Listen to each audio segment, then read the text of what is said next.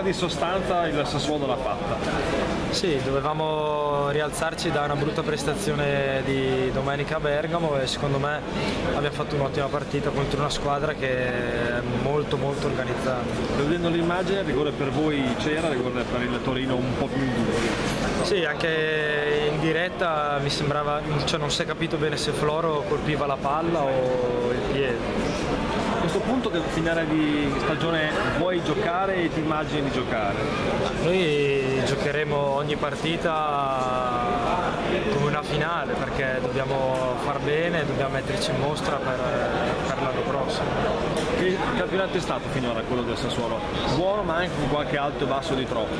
Sì, abbiamo avuto tante, tanti problemi di, di giocatori fisici.